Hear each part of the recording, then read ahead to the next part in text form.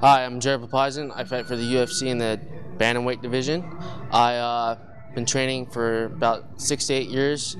I've been training with Alberto for three years. I was in a rocky start in my career. I was 50-50. I was uh, um, two and two when I met him, and I just decided I uh, was with my manager Darren Harvey, who uh, took me on, and we decided to change everything. And uh, we found Alberto, and we just clicked like that. And uh, I'm here today. You know, I made my UFC debut uh, a month and a half ago. Lost the decision, but it was by far one of the best fights of the night. Um, he changed my whole game. Oh, my ground tremendously improved. Um, I say I was a two when I first started. I'm probably a seven. I still want to get to a 10, but I, I improved tremendously. The, the, guys over here at Gracie Barra Burbank, Encino, Hollywood, all those guys, um, they helped me tremendously get ready for my fight.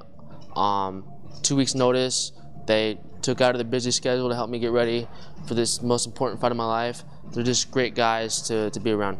Oh man, uh, I'm more excited uh, to be fighting in the UFC again in June.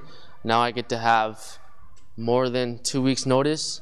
Now I'm just gonna run with it. Um, you guys are gonna see a more improved, exciting fighter uh, when it comes June. So your bantamweights out there better watch out because Jack Hammer's coming 2012. Um, I suggest everybody, I recommend everybody uh, to come here in uh, Gracie Barra Burbank to try class. Um, may change your life, may change your whole career as an MMA fighter or jiu-jitsu fighter. It's a family here. Everybody's friendly, everybody's loving. It's just great.